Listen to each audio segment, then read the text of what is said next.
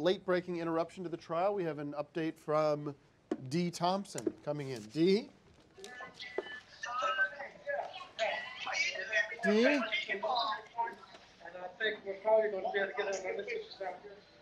We're real close to the accident. Say that again, D. We don't have visuals. We're close to, very close to the, uh, Oh, hold on. I have the best foreign language Oh, there he film. is. Excuse me. Tim, I have the best okay. foreign That's all right. language. take a look here. This is where the accident is coming. Where are we now, D? We're at the corner of Hollywood and Highland. Okay, let's get in there. This is where all the, uh, well, obviously the fence is still up here. Okay. Here. You want to get over? The best foreign language movie is going to be The Fantastic Woman. Okay, let's cut to Gregg, please. We cut to Gregg here. Go ahead. Uh, Leo says the, the Fantastic Woman in about 30 seconds will win for best foreign language Sounds like the. Fantastic Four. Okay.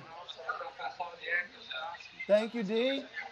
Looks like you're up against a, a fence there. Oh well. Looks like you're shit out of luck.